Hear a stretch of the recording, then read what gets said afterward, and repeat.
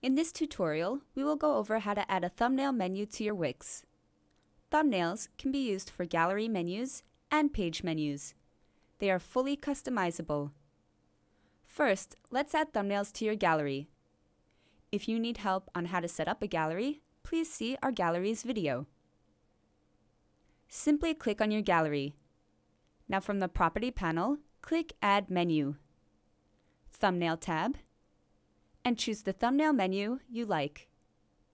Drag and drop it onto your page, and you can resize it as well. Use the Property panel on the right of the editor to customize. In the settings, you can set margin and rollover size. Also, you can change the skin, colors, and add effects, behaviors, and more to it.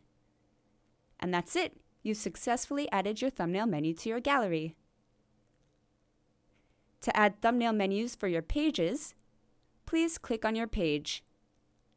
Click Add Menu from the Property panel. Thumbnail. Choose the style you like. Place your page menu outside of your page borders and inside your master page. Now you can add pictures to it. While the menu is selected, click Manage. Now click on the thumbnail image.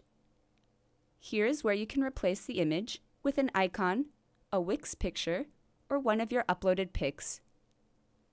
Choose the picture you want, and you will see it automatically replaces itself.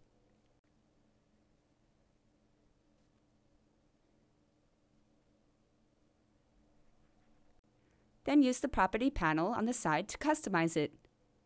And that's it! You now connected your thumbnail menus.